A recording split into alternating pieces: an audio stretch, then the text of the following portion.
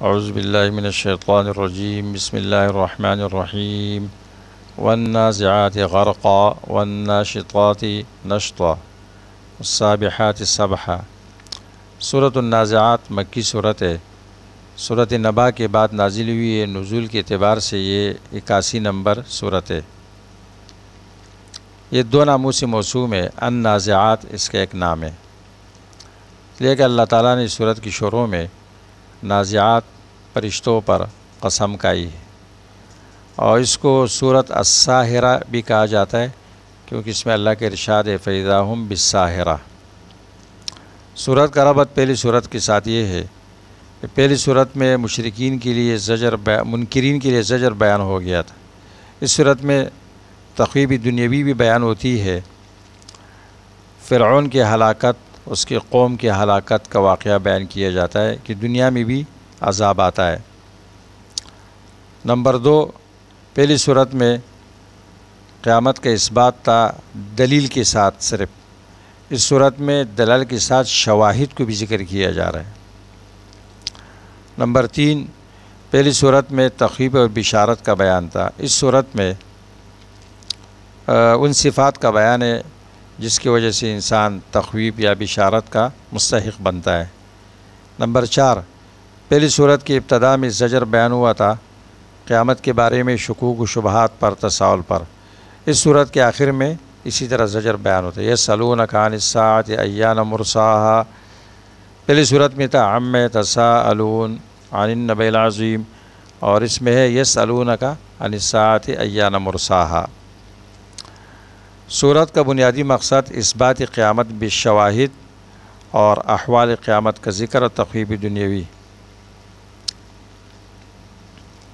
पाँच शवाहिद पेश किए गए इस बात क़्यामत के लिए इस कि अल्लाह ताला कादिर बास बादल मौत पर। सूरत की इम्तियाज़ात खसूसियात।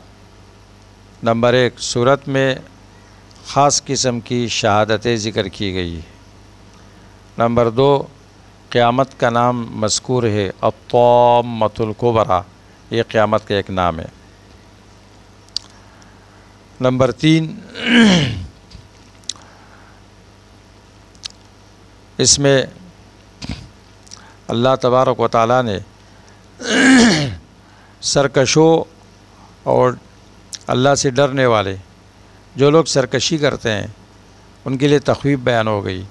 और जो लोग अल्लाह से डरते हैं, उनके लिए बिशारत बयान हो गई। फ़म मामन तो व आसर हयात दुनिया व इन जहीम ही अलमवा व अम्मा मन खाफ मकाम रबी व नहनफ़ानिल हवा फ़ैन जन्नत ही अलमवा सूरत के फ़वाद लताइफ़ का बयान।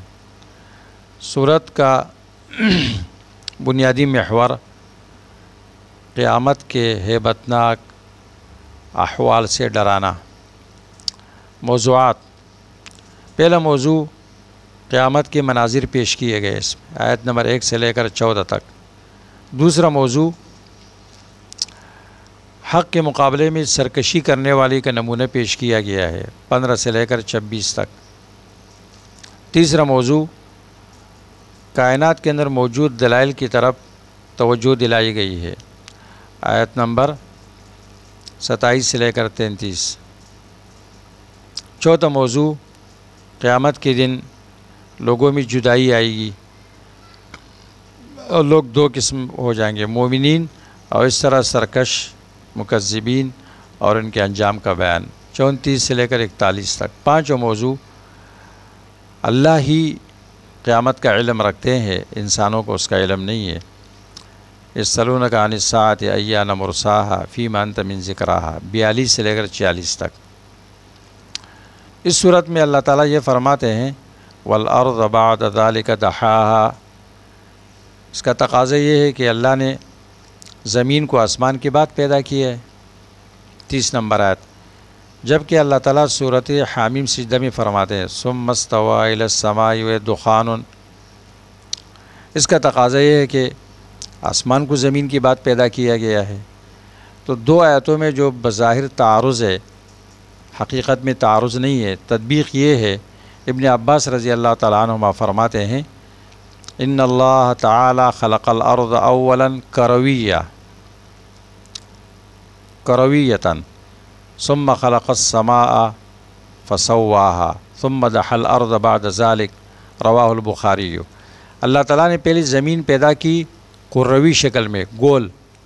फिर आसमान पैदा किए और उनको बराबर किया। उसके बाद अल्लाह ने ज़मीन को फैलाया।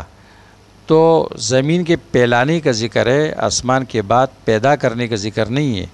वल अर्दा बाद का दहा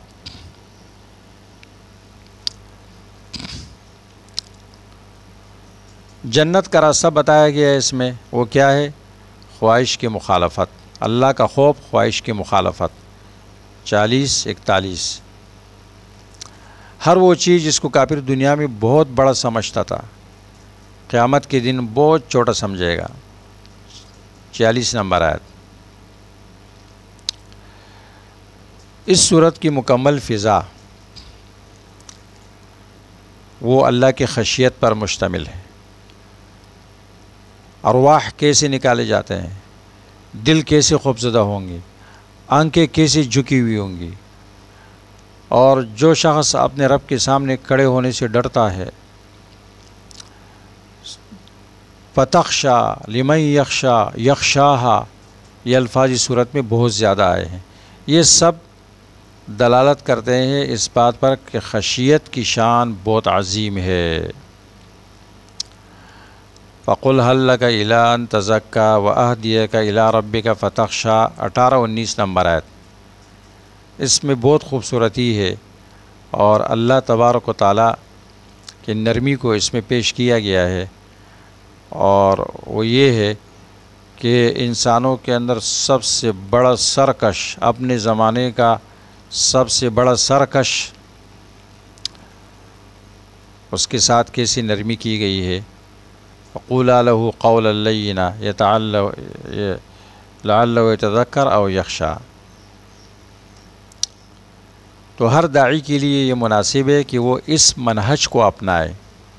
दावत में सख्ती न करे।